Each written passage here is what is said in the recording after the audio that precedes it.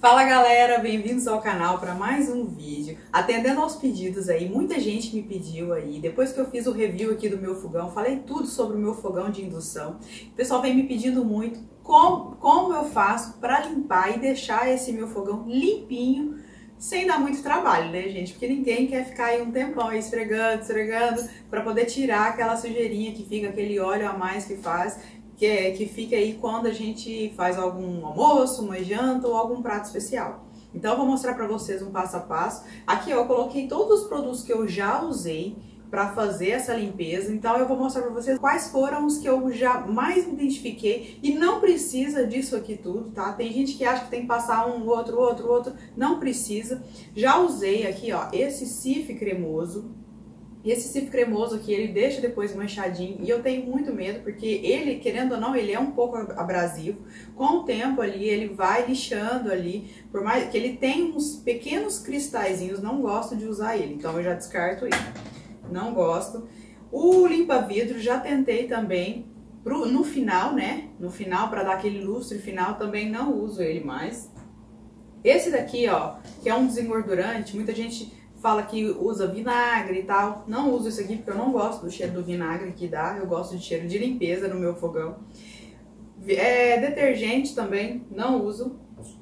Aqui, gente, eu comprei uma vez para poder estar tá limpando aqui os meus lustres e as minhas lâmpadas de iluminação, que é, pra, é próprio para vidros e lustres, isso daqui. Só que no final ali você tem que dar um polimento todo especial e mesmo assim ainda deixa uma manchinha quando dá aquele reflexo da luz. Então eu também já descartei esse daqui também.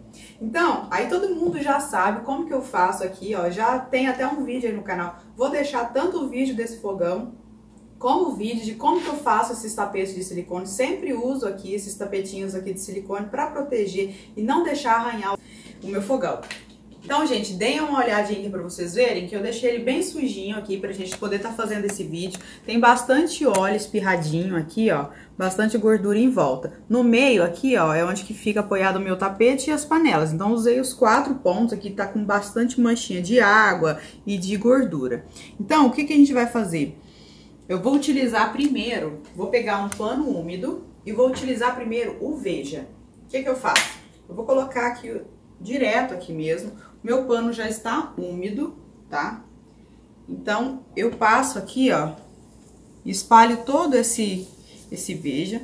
Eu gosto desse veja azul, que ele tem, além de ter um cheirinho bem agradável, eu gosto muito. Eu sinto que quando eu uso ele, ele é um pouco mais desengordurante do que os outros, então eu prefiro ele, tá? Aqui, ó, não vai acionar nada do fogão, porque aqui tem a, telinha, a teclinha de trava de segurança, então ela já fica acionada, tá vendo? Esse LO indica que ele tá travado, então ele não vai ligar nem desligar. Aqui, essa primeira etapa é para poder desengordurar, tá vendo? Aí você deixa ele agir ali um tempo, 5 segundos, e eu agora já vou enxaguar o meu pano e vou retirar esse produto daqui de cima. Então, gente, enxagu... após estar enxaguado o paninho de vocês, você pode utilizar um outro pano que já esteja úmido também. E a gente vai retirar o excesso aqui, ó, desse veja e vai eliminando a gordura. Você vai virando o seu pano ali. Se precisar enxaguar mais uma vez, que o ideal é que a gente retire tudo. Quando eu vou fazer essa limpeza, que é a geral, quando eu faço é, um almoço e suja bastante aqui o fogão, eu espero sempre ele esfriar um pouco as, os pontos de cocção, que é onde fica apoiada a panelinha aqui, para quando eu passar o produto, ele não secar ou não ele, ele não secar muito rápido, né? Então eu espero esfriar um pouco, o que, que eu faço? Eu faço o almoço, depois eu cuido de toda a cozinha, lavo toda a louça e eu deixo ele aqui esfriando um pouco. Quando eu termino tudo ali, aí eu, eu deixo o fogão para limpar por último. E ó, quem, quem aí tava aguardando, esperando esse vídeo aí, que não é inscrito ainda no canal, aproveita aí, já se inscreve aí no canal, já deixa um like aí quem estiver gostando aí das nossas dicas, tá? E não esquece de ativar aqui o sininho das notificações para estar tá recebendo os nossos vídeos assim que ele entrar no canal. Aí, gente, enxaguei mais uma vez o pano só para ter certeza aqui que eu consegui retirar todo o produto, não ficar nenhum tipo de sabão ali em cima, né? Então, gente, no final, o que que eu vou fazer? Eu vou pegar aquele mesmo pano bem limpinho, Vou vir com o álcool, eu tô usando aqui o álcool 70%, mas o 46% o porcento também vai funcionar. Coloca um pouco de álcool aqui e vou trazer aqui, ó. E vou passar por tudo aqui para garantir que a gente está conseguindo remover todo o resto que sobrou de qualquer gordurinha que ficou, tá? Se vocês tiverem ali, ficou alguma manchinha de água, aquelas que ficam redondinhas ali, que vocês não estão conseguindo remover, pega ali um limão, corta ele no meio e passa ali em cima, que vocês vão ver que vai sair muito fácil. Aí passa um paninho para remover esse limão, né? Por cima ali que vai dar super certo. A partir do momento aqui, ó, já passei, porque o que que acontece? Eu não deixo, depois que eu limpo ele com veja, não deixo ele secar naturalmente, porque ele vai ficar com aquela marquinha de água que é a característica, né? Então eu passo esse álcool desse jeito, que ele vai ajudar a secar bem mais rápido. Vem com uma flanela dessa daqui, ó, tipo uma flanelinha mesmo, ela é bem macia, então ela não vai arranhar o meu fogão. E eu venho ilustrando ele aqui, esse daqui já é um pano seco, olha para vocês verem como que ele já vem secando bem mais rápido, então ele já nem dá tempo daquela marquinha aparecer, tá?